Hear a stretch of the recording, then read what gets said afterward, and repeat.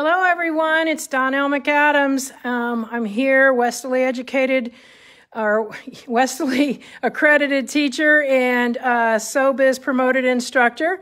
And we're here today to finish up this holiday stocking from the Quilt As You Go.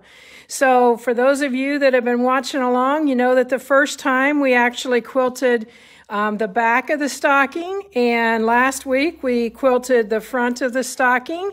And um, this week we're going to finish it up. And so I've got my pieces all ready and um, want to remind you that you can get this as uh, June Taylor. It's a June Taylor uh, printout, so it prints out onto the um, uh, quilt batting so that all you have to do is follow the numbers and put that on there. So um, those are available. So I do have a handout. I'll put it up after class today because later in the today I'm going to show you how to make a star and I just called it star making. It's just a one page handout. And so I'll talk about the handout so you can reference it, but I'll put it up afterwards so that you can get it.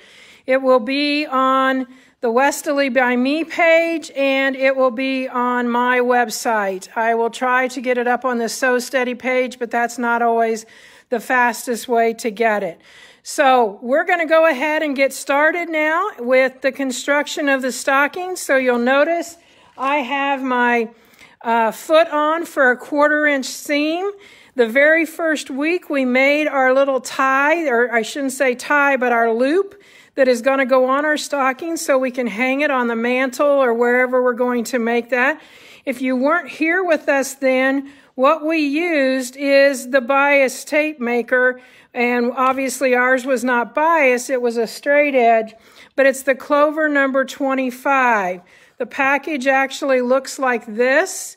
And um, it's really one of those things that's so easy to do. You can go back and reference the first video so that you can see how that's done. But you'll notice that I've also stitched right close to each of those edges. This piece is six inches long. And the thing that you need to watch on this is when we put this together and we're preparing to put it onto our stocking, we've got to get it at an angle that works. So I'm going to pull this down here and show you what I'm talking about. So here's my stocking. The toe is down this direction, and I'm pulling it this way. And I want this to be about a quarter of an inch down because I want it so that it catches, it, it doesn't catch in this top seam, but it catches in the side.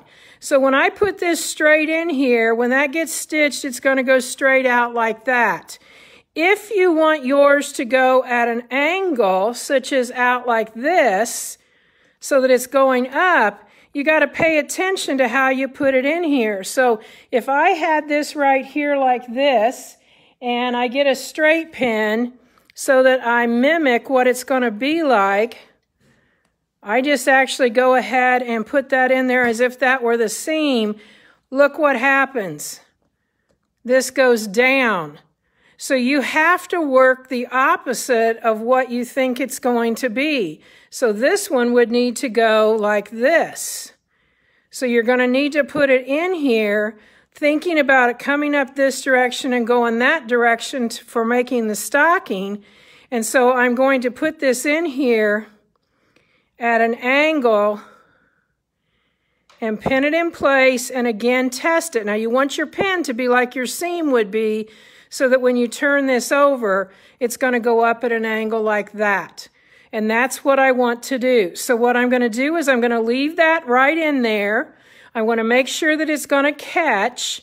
So I'm going to take this pin out, make sure my ends are sticking out into the seam a little bit. And I'm just going to take the pin and go like that to hold it in place. And then I'm going to pull it down here and put another pin because I don't want it to get caught in that seam up there. So now what we're going to do is I'm going to show you an easy way if you're doing a stocking without a cuff to make this so it's so simple to put together. So what you want to do is you want to make sure that your stocking pieces that are quilted, this is my piece that I quilted, that when you put them together like this, they're not going to get stitched like that because we're going to make it so there's a lining in there, that the toes meet up. So you're looking at wrong sides out, right sides in when it's together. And I'm just going to take that and lay it aside. And now I have two lining pieces that are the same way. So I'm going to take it and I'm going to put it, and I'll just move it so that you can see it. But what I'm going to be doing is I'm going to be stitching a lining to each of those quilted pieces right along the top here. So this is going to get stitched together. And what I want to do is I want to put this on top like this, even though I'm only stitching that one end, and I'm going to slide this down here so that you can see it matches up so it makes sense like this. And it's not going to get stitched down here, just across the top. So now what I want to do is I want to make sure that it's not pulling in like that is right there just a bit. I need to release a stitch. I think I remember that happening when we did that that first day. So what I'm going to do is I'm going to put this together, knowing that I've got enough space there. And I'm going to make sure I'm not anywhere near a pin. And I've just got this set for a standard straight stitch. And I always want to, again, this is the home ec teacher coming out. I always want to make sure my thread is underneath my foot I'm just doing a regular straight stitch a quarter of an inch away from my edge of my fabric there. So it's just a quarter inch seam. When I get to the end, I do want to back stitch. It's almost hard to go back to doing something like that after you've been doing um, template quilting. I'm going to go ahead and cut that. And now you'll see that when I pull this back, that is stitched together like, this, like so. Now what I'm going to do is I am going to press this so that the seam goes towards the lining. So I'm going to be pressing that towards the lining. So I'm going to lay this over here to the side and I'm going to repeat that on my backing piece. So as you can see here, I've lined this up so that the toes are together, right sides together, and I'm just repeating what I just did. Now when I actually do this stocking, I'm to sew it together, I'm going to sew a little larger than that quarter of an inch seam. But for right now, I'm doing a quarter of an inch.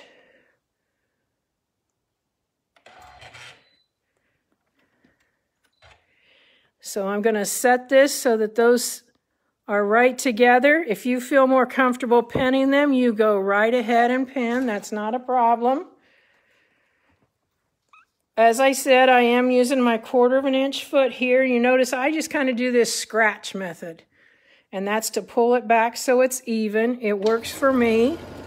If you wanted to backstitch down there, you certainly could.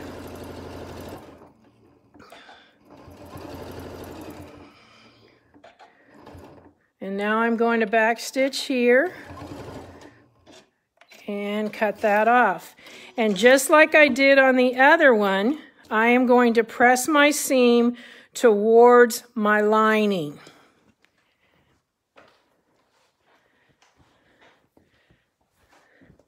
So you can see here, my sewing fairy pressed my seam for me.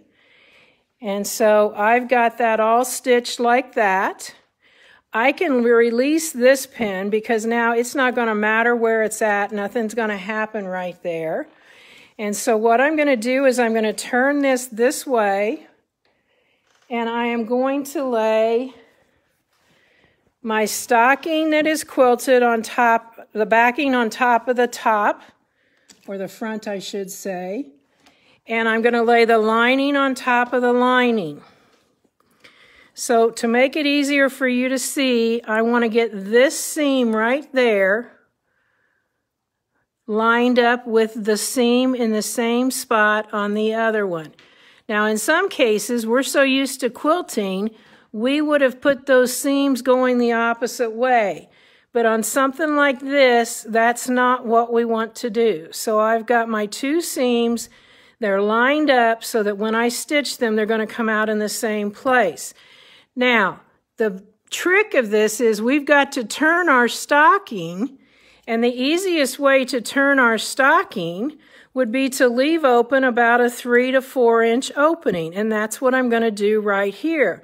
So from this pin to the pin I'm putting in right now, we're going to leave that open, but I got a little trick for you, so when we come back around there, it'll make it really easy.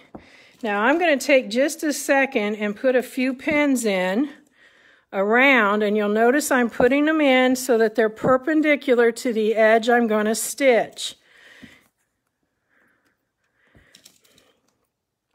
And I can tell you, stockings can be forever project, or this way is so much easier to put these together so that when you're finished, you don't even have to do any hand stitching. So you'll notice I came right here and I'm lining up those two seams. You have any questions, go ahead and ask them.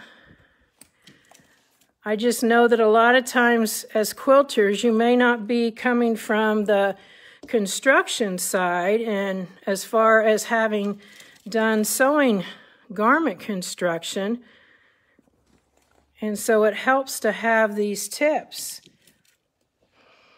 Now, because this is quilted, I really don't have to put quite as many pins in it because it's solid enough, so to speak, it's not flimsy at all, that you're not going to have any issues with that.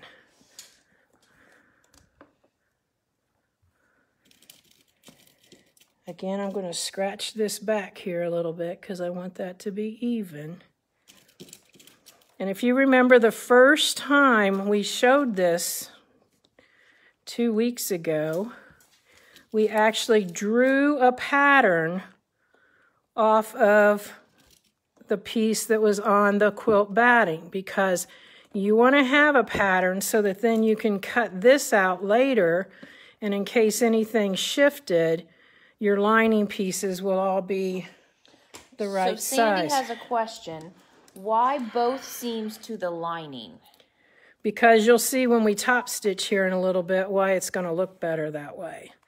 Now what I'm going to do is I'm going to get this foot out. If you have a guide foot like this, it really, it doesn't necessarily have to have a guide on the edge, but it does make it pretty easy to go around there. Um, actually, that's not the one I was thinking of. But it will work. So let me just get, nope, I'm going to use this one. If yours has a guide, you can use that. Some of them have a guide inside. I'm going to use the Clearfoot. I want to use what I would call a 3 8 inch seam. And the reason I say that is I want it to be bigger so that it's not right on that quarter of an inch where we've already stitched on some of the pieces that we've already finished. So you'll see when I get this in here,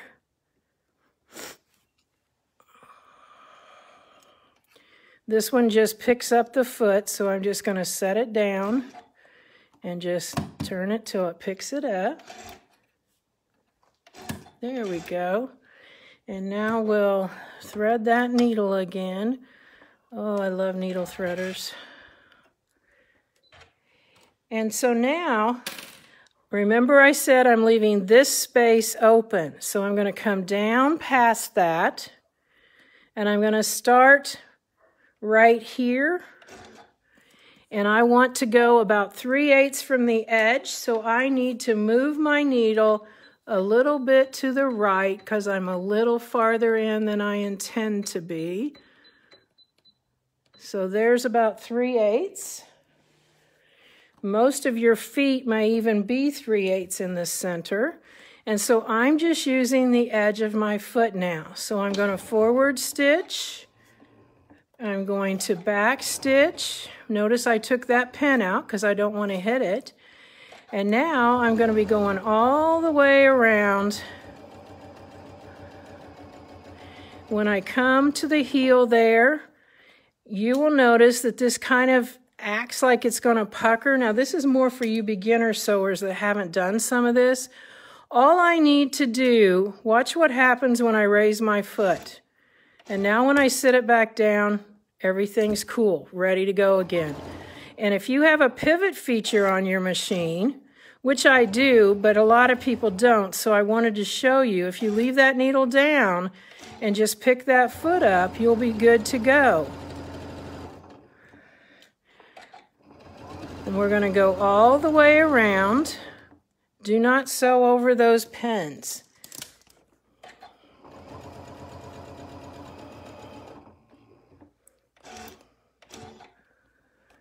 Because my needle's down, I'm not, you know, getting a jerky stitch or anything. It's just a matter of lifting that up.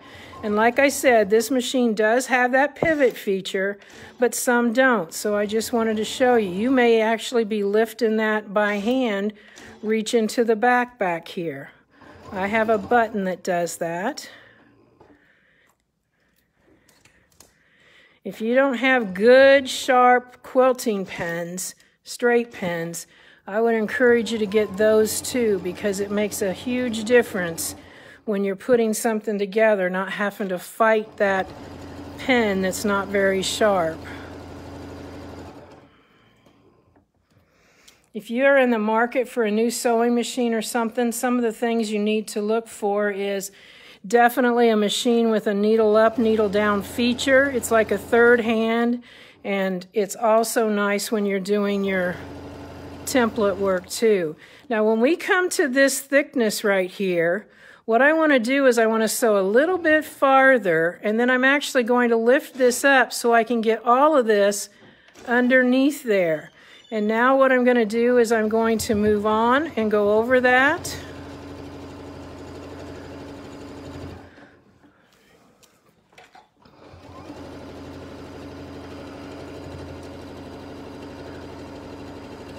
Again, coming around these curves. You won't even notice it as much because this fabric, as I said before, being a little bit more firm because it has the batting on it makes it so it's really easy to just swing right around those curves.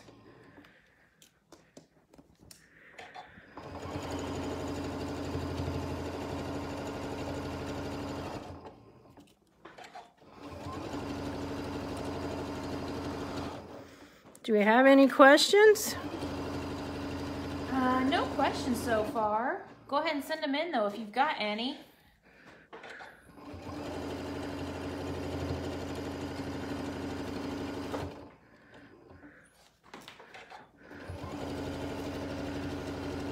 Now we're almost back up to the top. We've got that bump there that's going to be from our hook or hanger for our stocking, so we want to be aware of that. Notice the pins inside here. That's okay because I'm going to still be able to get it out later. So what I'm going to do is I'm going to hold it in place and go really slow over that so I don't actually hit it. And then when I get to this, that's my seam. I'm taking that out. And this is where I'm going to backstitch. Now, here's my little secret. You're going to cut this. So my threads are cut. I'm going to put it back in at the same place and put my foot down and I'm going to lengthen my stitch to a basting stitch. I'm going up to about four and then I'm going to stitch this with a basting stitch. And the reason that I'm going to do that is the next step is I am going to press this back.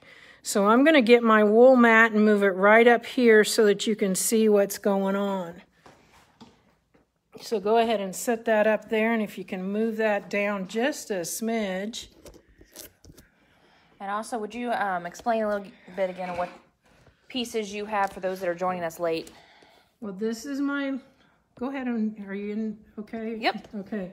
So what I'm going to do here is these are my lining pieces. They don't have any batting in them. This is my back that we did the first week. This is my front that we did last week. And I've stitched all the way around. And this right here is where I have basted. So what I'm going to do between those, first of all, I'm just going to take this and I'm going to make it so that I press it so it's open. So I'm just pressing this seam open. This is just a sewing tip here. And then I'm going to flip it this way and press it so that it's back on the seam.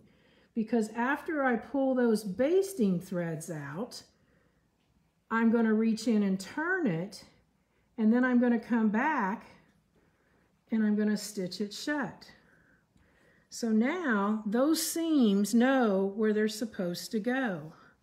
So we'll just set that over there a minute. And I am going to now come back and I'm going to take that thread in there and I'm just going to pull out the basting thread. Now, had I left that tail longer, I could have probably just ripped it to begin with, or pulled it to begin with, but I didn't leave it long. And so now I've got that thread right out of there, so I've got my opening. So at this point, first thing, reach in and pull out that straight pin that was holding the hanger in place and I'm going to come down here and I'm going to, and some of you are thinking, I wonder why she doesn't clip that. Well, it's a stocking and because of the way the direction is on that, you really don't need to. It's going to round around just fine. The other one would be the one you would need to, but it's a lining. It's inside. No one's ever going to see it. So now what I'm doing is I'm just kind of pulling this up like you would a, a stocking that you were going to put on and then flipping this inside out. So now that I've flipped that inside out, the first thing that I'm going to do is come back over here and you can see how this is already turned in. Everything is fine that way. This is just a thread that I'm going to trim off. It's one of my basting threads. And I'm just going to set this down put my needle in place. I always like to stitch a couple stitches forward first. Your machine likes that. I got to go back to my regular stitch length. My needle's going to move, so I need to go back to that. There we go. And so now that I've stitched forward, I'm going to go ahead and stitch back. And I'm going to get the rest of this in place. First, I want to kind of pull out my stocking. So you can see I've got that pulled out. And now that I've got this and that was already pressed, I'm just going to stitch right along that edge and back stitch. And then we'll cut that thread. And I'm going to get my little snips that get real close to the edge there. Snip that. That. I think that's a hair there. I guess it's one little thread back here. Well, there we go. Got it. Okay. So now our opening is closed. We've got our stocking turned out and it's just a matter of pulling out the stocking. And because it's quilted, it's not hard to do. You can see that it's just coming right out. It's going to lay nice for you.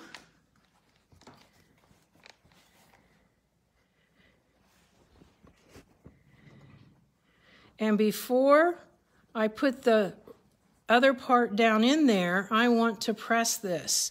So I'm going to pull this back over.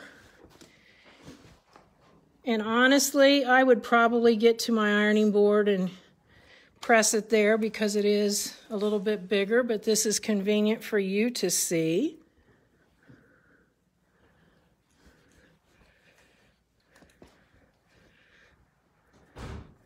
I'm going to pull this out. This is what makes something go from good to great is taking the time to do what we call roll those seams.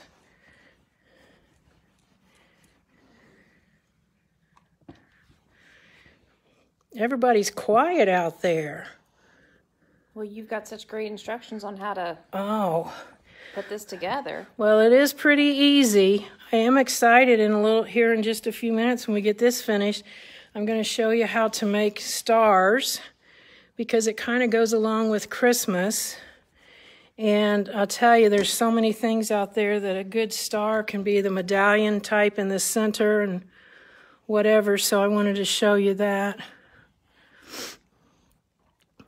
I had some questions this week that came in, just general things, and maybe the people are out there that asked them.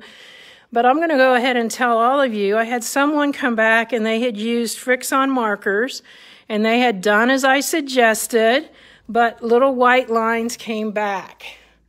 So I said, well, spray it with some water or some more Best Press or Starch Savvy and press it again. And all it needed was just a little bit more liquid. So that way you can do it without laundering it because we know it all comes out when it's laundered.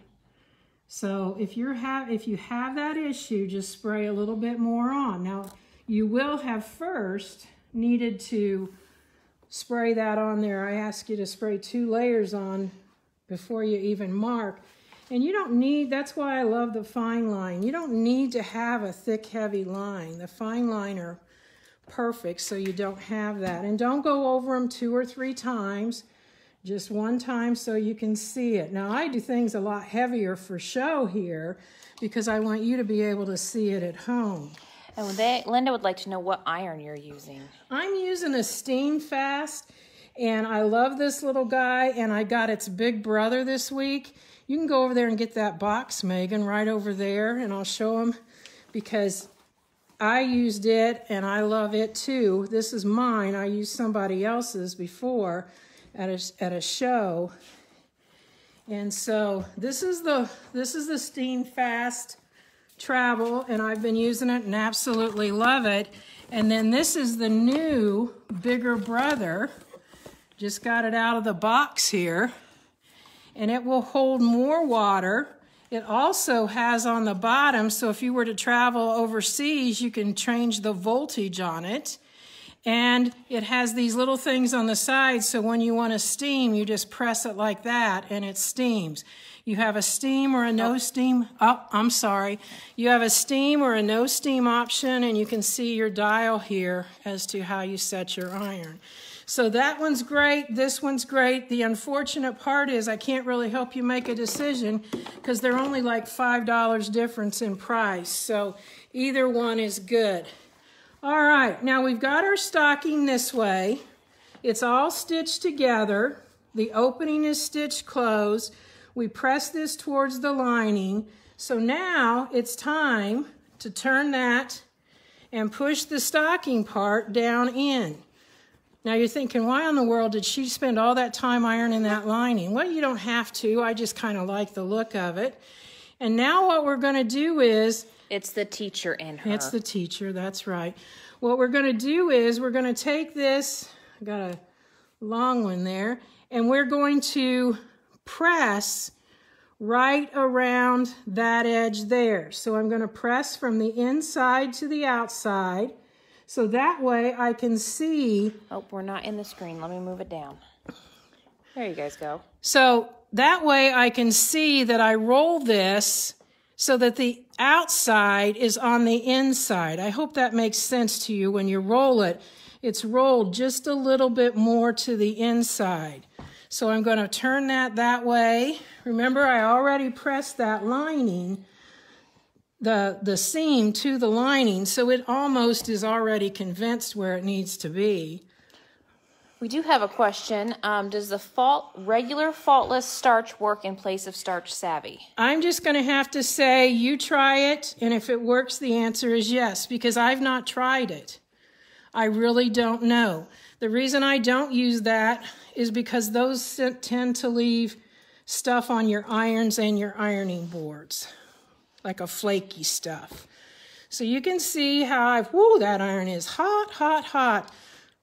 Yeah, but tell us, they, they like your little blue mat. Can you tell us about okay, that? Okay, this is a silicone mat. They come in a bunch of different colors. There's purple, there's green.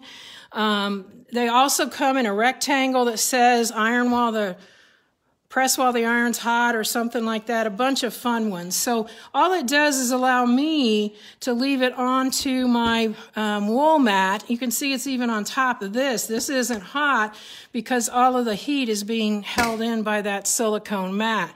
So I can leave this here all day long and not have any issues. Now I'm finished with that, so I'm going to set it. I have it on a little TV tray over here on the side. And you can see my stocking here is already finished. You wouldn't have to top stitch around the edge. I just like the look of it better when I do that. So what I'm going to do is I am going to put this foot on that has that edge on it now.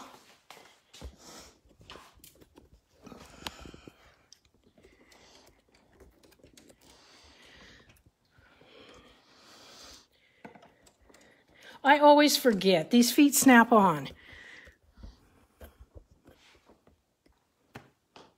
So now I can leave that piece on there, snap this off, and now I'm going to move that over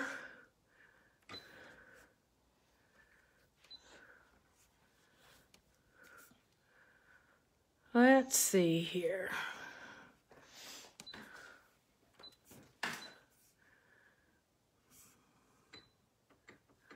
There you can see my needle moving over. Some of you may have a mirror image button even that allows that to move. And so what I'm going to do is I am going to turn this back and I want to start, since my thread is red, this again is just another little sewing hint. Since my thread is red, I'm not going to start in that gold section where when I come back and do my back stitching, it's going to show up. I could even start clear on the back.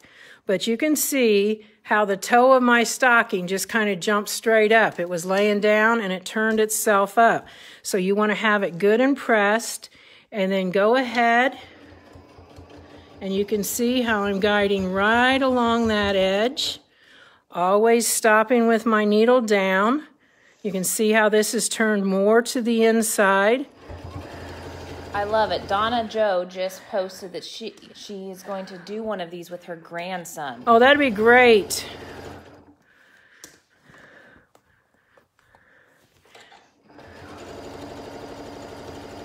Now, when I get to this piece here, if by some reason it's like in the way, I'm not going to let it be in the way. I'm just going to move my top stitching up a little bit. Or I could totally stop and start on the other side. But now when I leave my needle in, I can pull this out of the way and back, put my foot back down, and just continue right along there. And I just think the top stitching gives it a real finished look. Patricia says we need to have a snap-on ruler foot.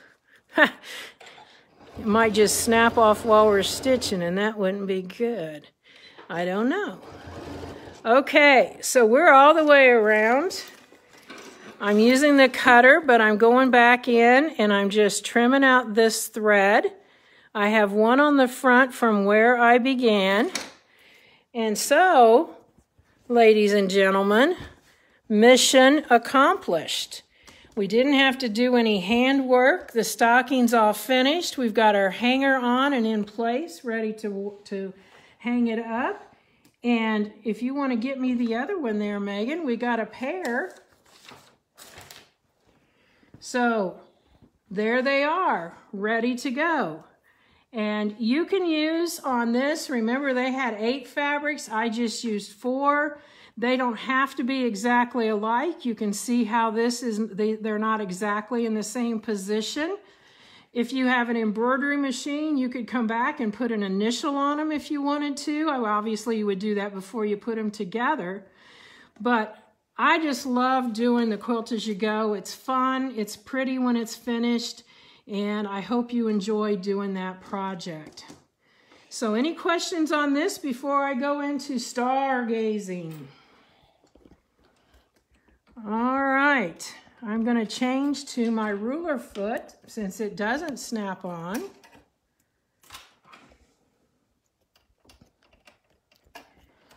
And set my machine for ruler work.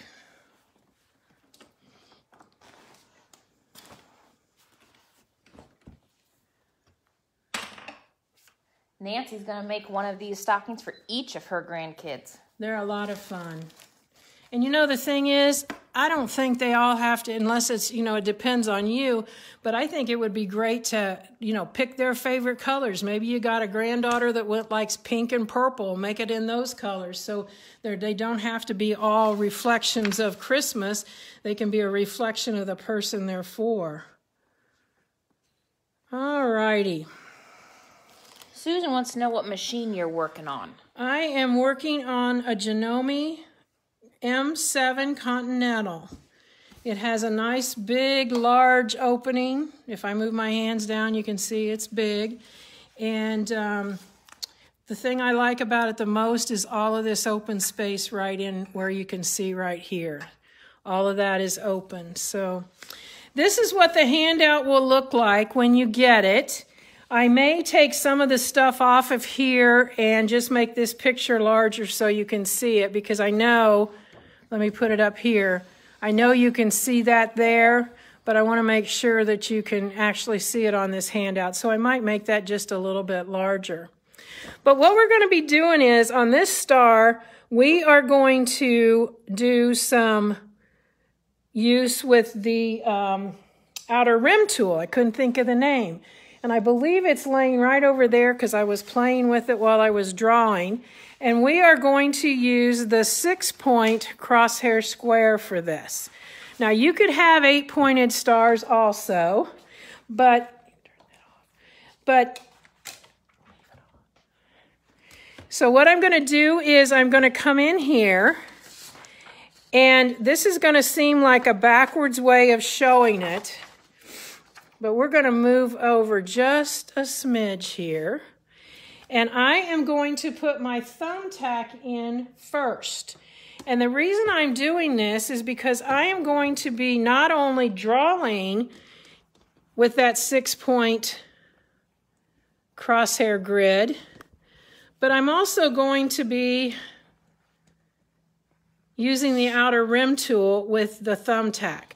So if I do it all with the thumbtack in there, it's going to make it easier so let me see if I've allowed myself enough space to do what I want to do. Oh my goodness, no, I want a little more. I'm going to show you how this would fill in like an 18 inch square. So I'm in the middle here. I'm going to take my eight point, or six point, excuse me. I'm going to set it straight up and down. So I'm going to turn this so you can see it so that that's straight up and down. And I'm going to take my chalk marker and I'm going to draw all six of these lines. Now, if you've never used one of these before, you know, you may not understand all the lines that are on it. So if I had it this way, so the words were right up here at the top, which there you can see them, and I drew my lines, they would be on there like so. And so now what I'm going to do is I'm going to be rotating. Let's see, I had it on there this way. Yeah. So I have that on there this way. I'm going to line up this line now with what I've already drawn. And so when I line that up, I'm going to make these like dotted, just so they're enough different. Now, if I was using Frixion markers, I would just make them a different color. Which is what you did on your handout. You have the different Right. colors. I just correct? did them different colors on the handout. But I need 12 lines to do what I'm going to do. And so I am going to get my straight edge. This is this is a straight edge that'll work here. Actually, I don't even need that center. I've got my center right there. So you will notice on the handout when you get it and what I'm showing you right here, on the blue line, which is straight up and down in the picture, which is my solid line, I am going to do lines at two inches and at eight inches. Let that sink in, two and eight on the solid lines. Now what that means is it's a two inch circle and an eight inch circle. And a two inch circle is only one inch from the center. So what I'm going to do is, this is what's called the outer rim tool. And I am going to be using the flat end. Now, if you've been with me before, I love my ruler stickers. And I put the green ruler sticker pointed to the flat end. And the reason I'm telling you this is because if you're in my classes and we talk about the green sticker, you'll be on the same end. So this is basically a compass that makes our life so much easier when we're using something like this.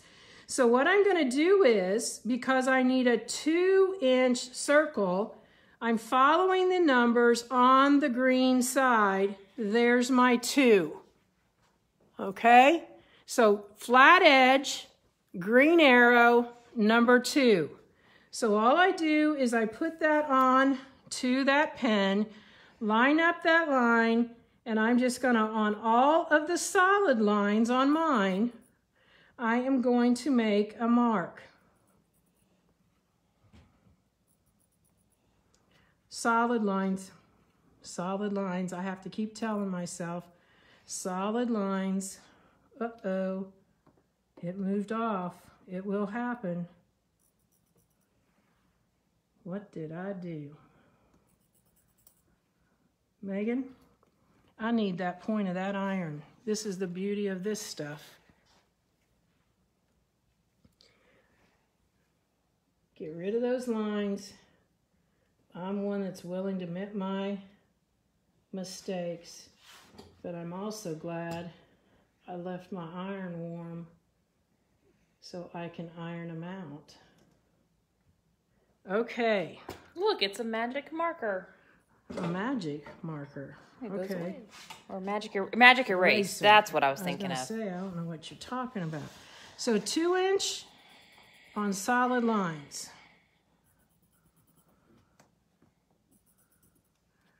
And don't let it come out of place. Now, the picture that you have or will have, I actually did this on paper using colored pencils. So now that was at two inch on solid lines, which is blue on your design, and we want eight inch. So on those same lines, I'm finding the number eight, putting that on to that pen, and marking all the way around.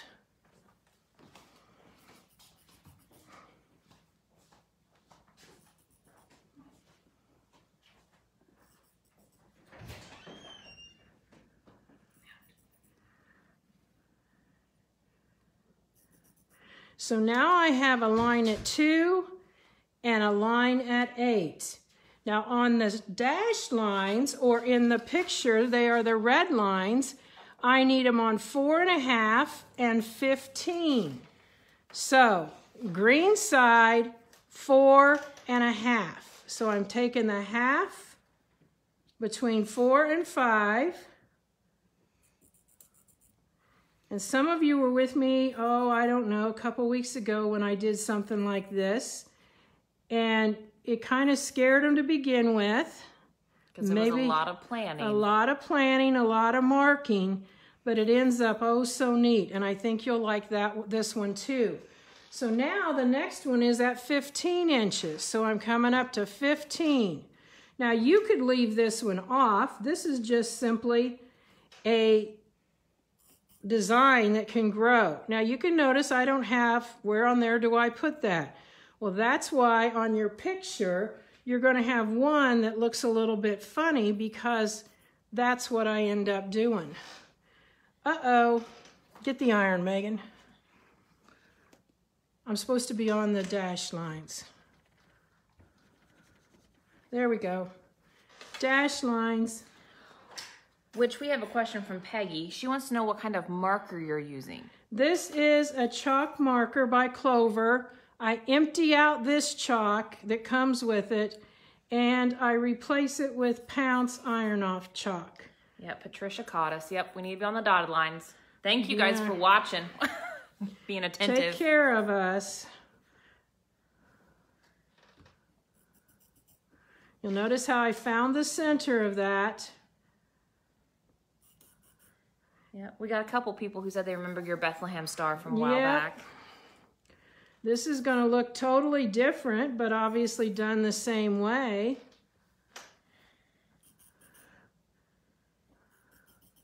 So now we have this all marked. We have two lines on each of the solid lines and two lines on each of the dash lines. So now what we're going to do is we are going to take our straight edge and you can use whatever you want. The, I got to get mine out here. I keep it all in the same bag. And I am going to use my 12 inch arc tool. I will not use it for all of them because the lines get a little bit longer. So I'll use my little ruler for that. I have what's called a centering ruler. That's my design.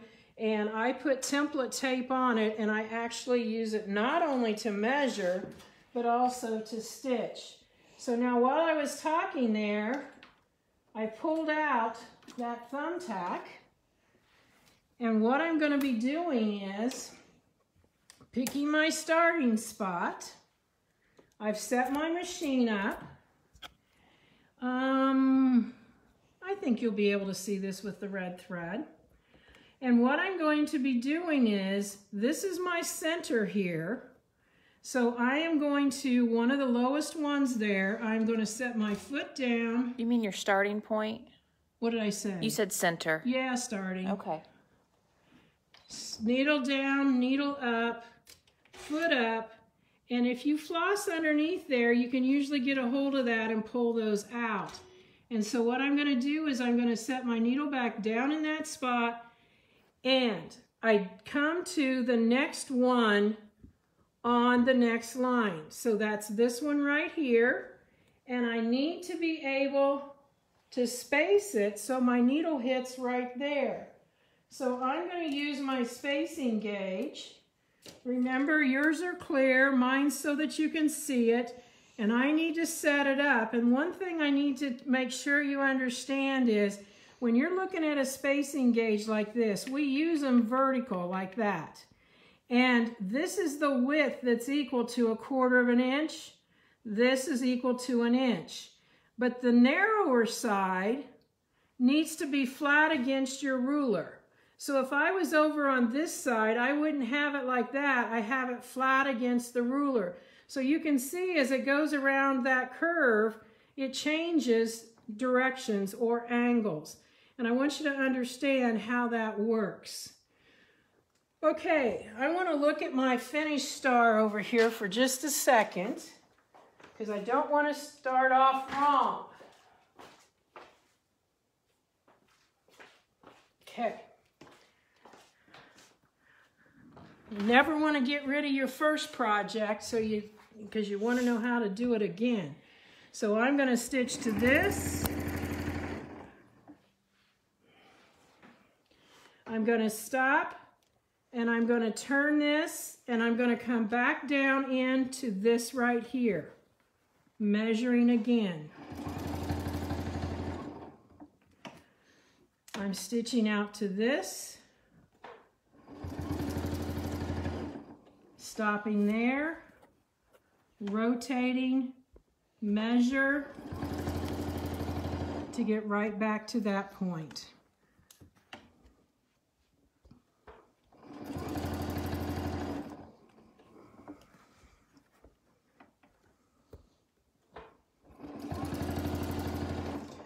Now, if you were inside a quilt or something, you could do this without turning. There's no question. I can take this and do that. But it makes it a bit difficult for you guys to see what I'm doing if I don't turn it to the angle where you can see. So that's what I'm doing when I turn this. Are you ready for a question that's not quite on topic? I don't care, that's fine. Okay, Susan wants to know where are some instructions on how to clean the templates once they get dirty? I did a um, video on that once. I don't know if it's still out there, but um, if your templates get dirty, I use um, Triflow oil to clean mine or a product that um, I have available that's called Get Off. And it just takes that any of that sticky right off. We'll have to see if we can pin that onto the website that we have. Because yeah, that sometimes you do need to clean these and it just takes it right off because whenever I go to do a show, I'll clean all my templates, but by the time the show's over, they'll start looking kind of ratty again. Okay, I'm gonna show this once today because some of you may not have seen it. I need to go one more stitch and that is how to secure. Now I know some of the educators secure by going back over their stitching and that's perfectly fine if that's what you want to do. I like to go ahead and bury my threads. I also had a comment this week that said something about that they don't like side threading needles because it gets caught in the batting. Quite honestly, I've never had that happen. Um, I do use the cinch side threading needles and what I've done here, I think I'm still in screen, is I'm going to take this right straight back down where it came up. And so all of those threads, you can see at the star is completed, but all of those threads are on the back. So I'm going to flip it over so you can see it. So all of my threads are here. This is a little bit different than I used to do it. I take two threads in one, two in each hand, and tie them in a knot. And then I pull them back in that side threading needle and I simply pull them, er, to put the point in and bury them between the batting and that backing layer. I pull it down about an inch and pull that through. Unfortunately, I lost a couple there. I guess not as many as I thought. So if you do, you just get it again.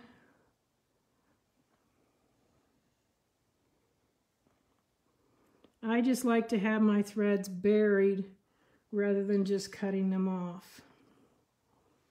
So now, once that's in there, I give my threads a little bit of a tug so that they bury when I put it back so it's flat. So you can see that I have buried the tails of my threads. And this is what the package looks like. This is the cinch side threading needles. Okay, so we have got the inside star finished. So now what we're going to be doing is we are going to go to one of the points of the star we've already finished and we are going to start again. So I'm going to take my needle down, my needle up, raise my foot, pull out my threads, foot back down, and get it right back in place. And so this time, we're going to be coming out to this spot. So I'm going to now come there. I'm going back in to the top of that star.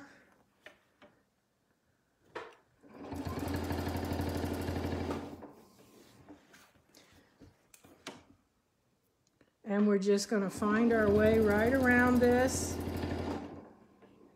using a point from before and a new point.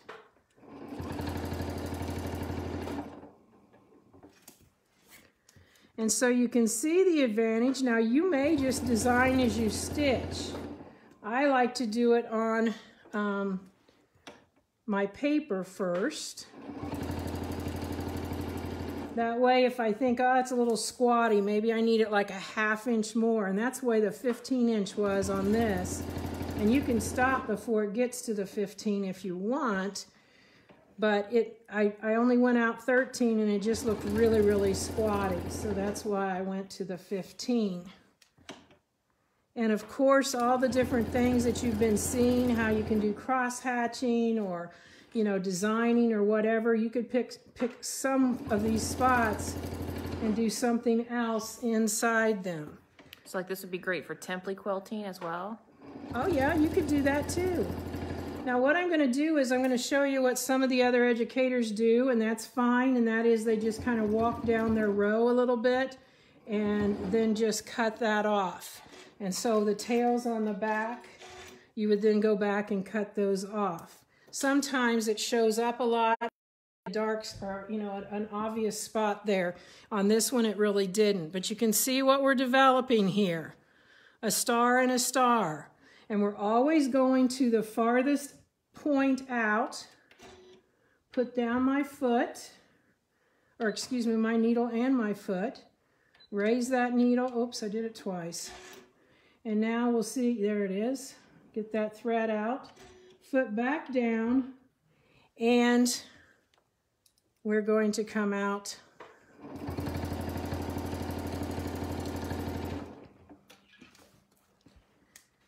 and you can see this nice big space here that you could do echo quilting in, you could do free motion quilting in, you could choose some of the mini templates, so the mini, the designs that are the minis. There's just not enough time in the day to do all that I would love to do with quilting.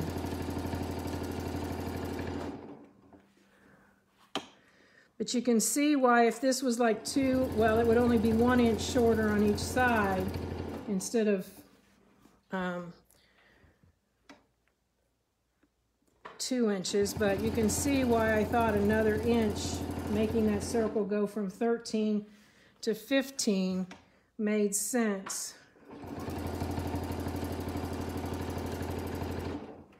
And this is all done just by, and you could do this with a five point. I did this with a six, but you could do it with a five. But it's just by plotting points. And that's why it's so much faster. I can remember before I understood what the outer rim tool did and how to use that it would just take me all so much time measuring out every single line on a ruler, whereas you can just put it on that point or on the pen and just turn it around. So it's so much easier. So here we are back at square one, so to speak, or should I say star one. And I'll do the same thing that I just did here, and that is to go over some stitching and just cut it. So I'm coming in with these little scissors and cutting that out. And now what I want to do is hand this to Megan and let her press that off so you can see what that's going to look like. Got any questions? Yeah, Nanine says, do you make this like Chris, like a Christmas star? We have a flower that they call the Christmas star when it's Christmas over in Sweden. This could be. I mean, it's not like any specific um, star, but it was just a star that I wanted to show you how you can create. So that should be good enough to get the idea so that I can show them. Do you have another question? Yeah, Patricia's got one would you do i think what she's asking is would you do your um all the burying of threads in one at one time at the end or do you do it as you go along? Quite honestly i like to do it as i go along because i just want them out of the way. So you could do it all at once but it's just easier to get them all out of the way and it's not that hard to do as you're doing them So bear with me just a second and I'll have all these lines off so you can see what this is going to look like. And Peggy made the observation, it seems like the sewing isn't taking much longer than the marking. Which... Right, exactly. Excellent observation there. So there's the finished star. I got a couple white lines I didn't take time to finish off with. But you can see here, this was the straight line right through here because the, the inside was the one that was at two and four and a half. And then on the other line was where we went to, I believe it was...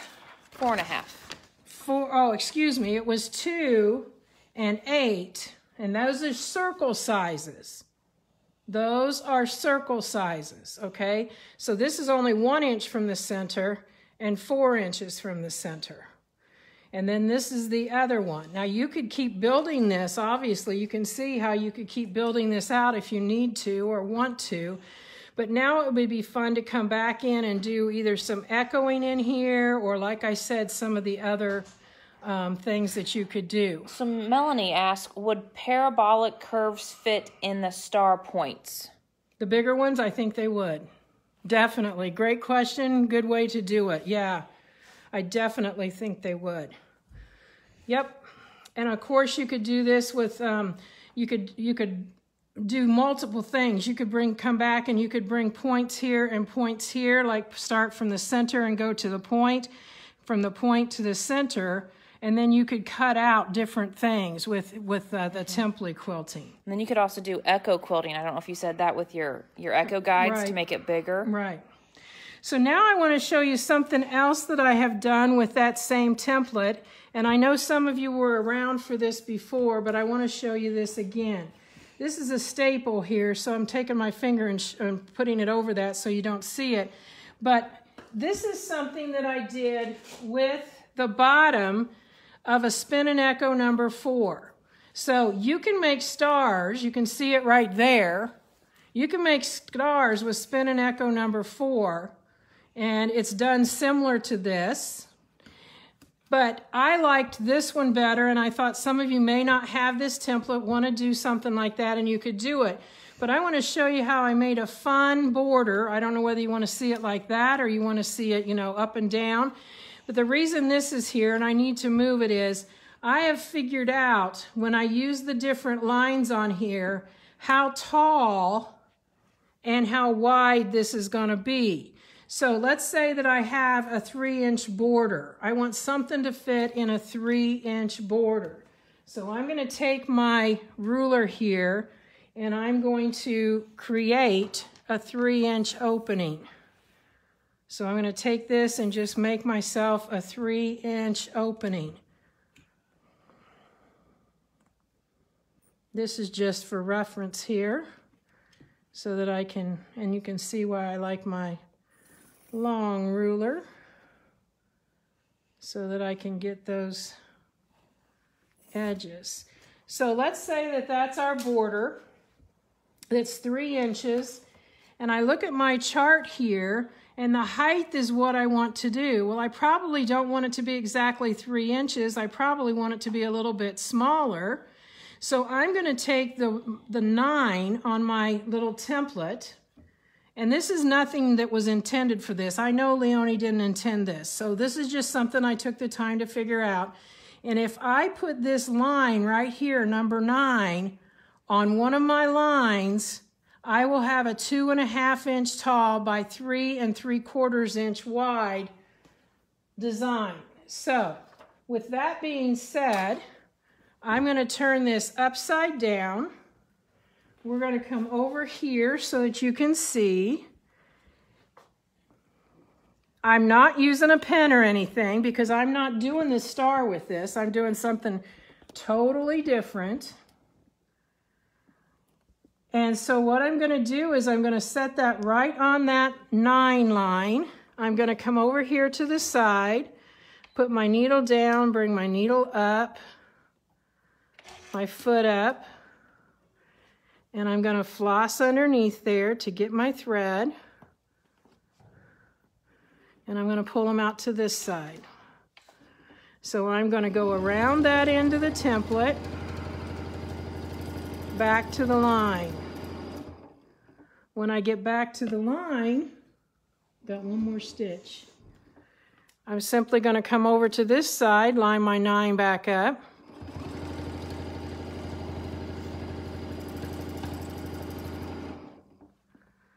I'm going to come over here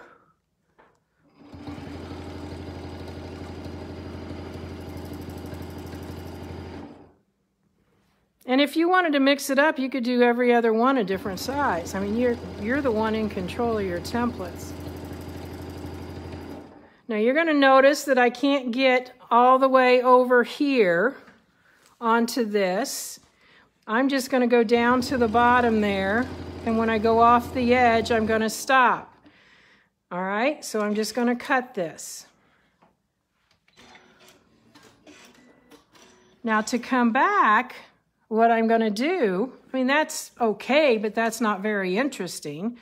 I'm going to take my 9 again, only this time the line that's going vertical here is going to be on that dip or valley.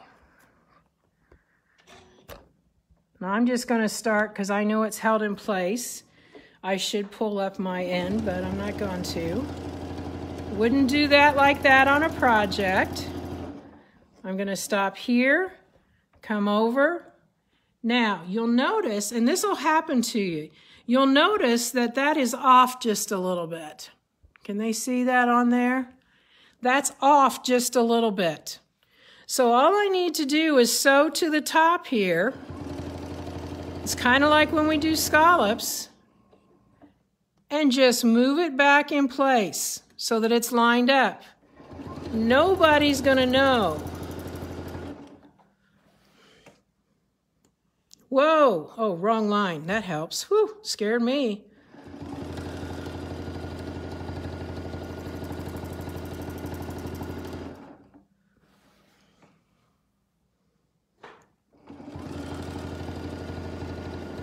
Whoa. Now I'm going to show you something just because this is kind of when it, you would use it, but not really. Let's say, for example, you were you needed to come right to that edge and you made needed to make it so that it worked. This is something that I think I would, needed a couple weeks ago, and I didn't have one. It took me a while to find it.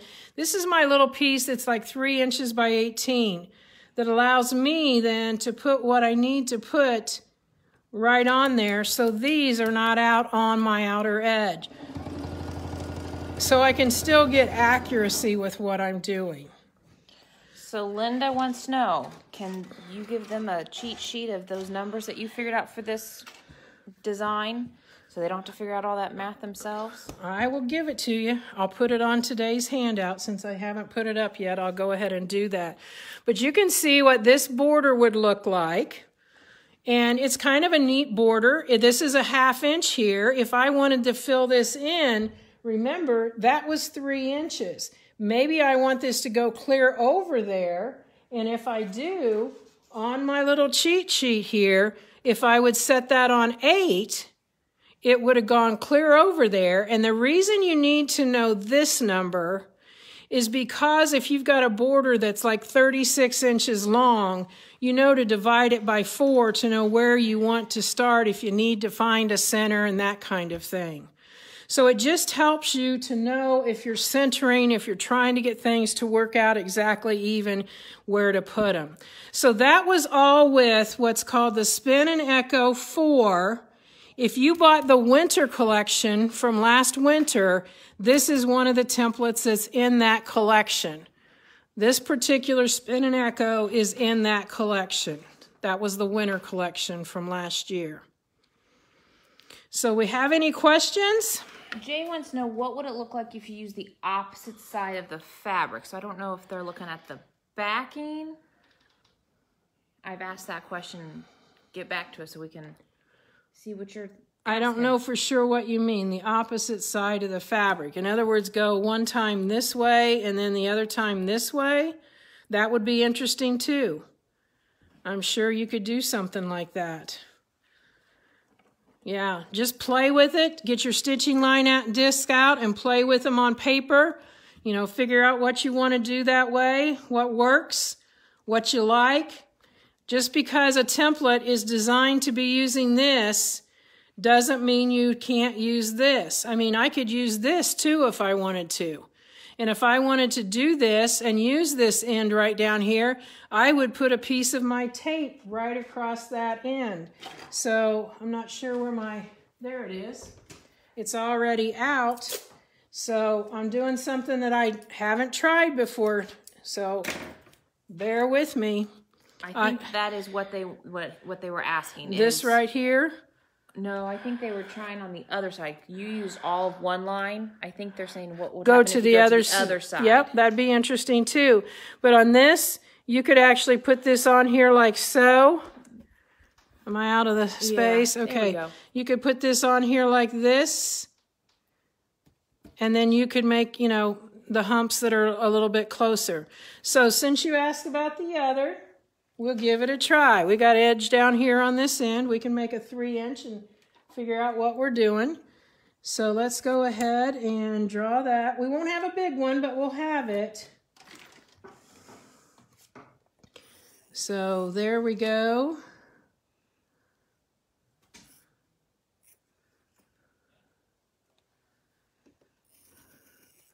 So we got three inch wide there.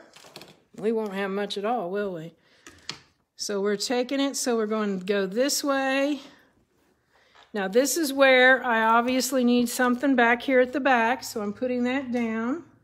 I'm going to start right here off the edge.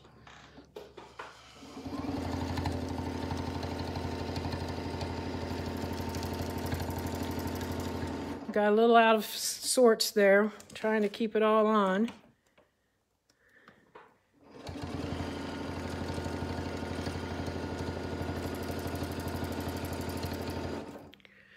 So let's go ahead and cut that. Admitting my mistakes. So now what we'll do is, let's go this way. So we're going to put this down here on 9.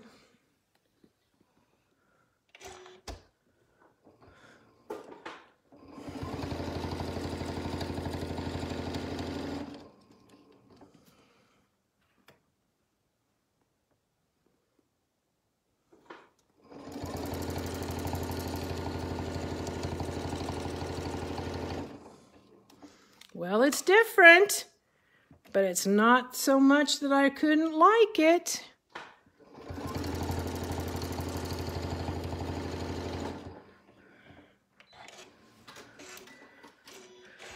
So you can see what you come up with. This is a little off here. This should be a little closer because I got out a little ways from it, but that's what you would come up with that. Or you could actually have these so they came right through the middle of this. So they came down so the humps were across from each other rather than this being centered. So yeah, you could certainly do that. So any other questions or comments? Martha just really likes your first one that you did. That it was just a, made a really sharp border. Yeah. She said that she'd never thought about using a template for another purpose. Right. It makes it it makes it fun to look at a template and see, you know, okay, what can I do with that? What are the different things?